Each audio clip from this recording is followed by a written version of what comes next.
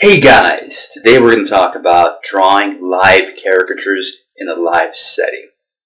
The first approach that I'm going to be talking about is drawing caricatures from the outside to the inside. The second approach in the second video would be from the inside to the outside. But before we get started, go ahead and hit the subscribe button right here.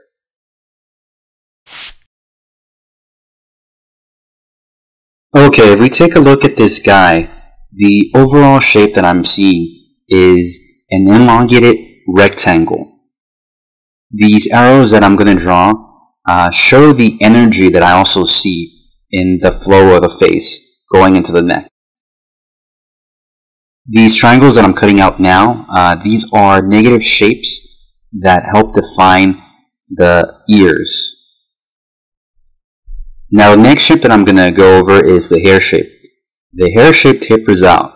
So it's going to be wider on top and narrower at the bottom. The next thing that I'm going to go over are the points in the face. These points help describe the cheekbones, the jaw, and the chin. You can just connect these if you want, but you can also manipulate them to get a good uh, caricature. You can also have a square chin, a triangle chin, and it's up to you how you manipulate those points. And now we're going to talk about pinching the face. Okay, by pinching the face, we're going to create this peanut shape. We're pinching it from the left and right side, as you can see here with the arrows, but you still want to think about having a skull directly underneath. We're also going to have to pinch the skull.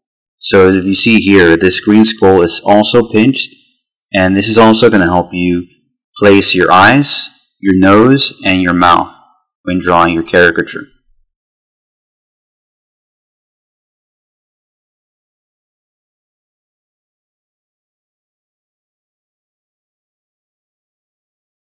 This is a good quick approach if you're drawing live and have a long line. Your live models are usually not going to stay still and many will want to move on with their day. So I might just spend about two and a half to three minutes on the face. The trick is to use your instinct and just jump right in.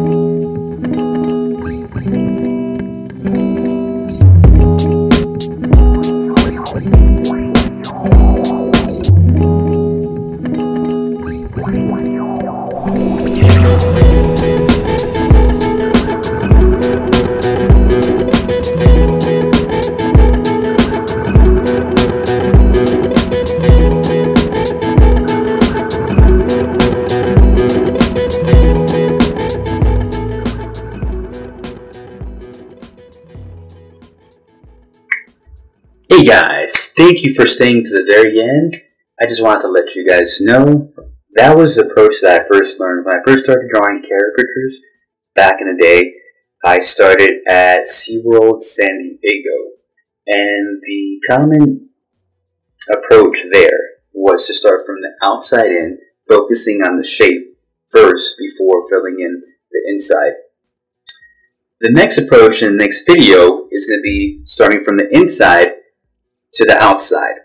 There's advantages to both, and there's also disadvantages. It really all depends what approach you feel more comfortable with. I tend to flip flop back and forth, but I tend to draw more from the inside to the outside now. Alright, so thank you for staying to the very end. So make sure that you hit a like and subscribe right here. Shift into this new rift and begin to lift. It's a gift, not a diss. Descend into the trail of the unknown. As I have shown, step into the portal and be the first mortal to overcome by being the oracle and adjusting your metaphoric molecule.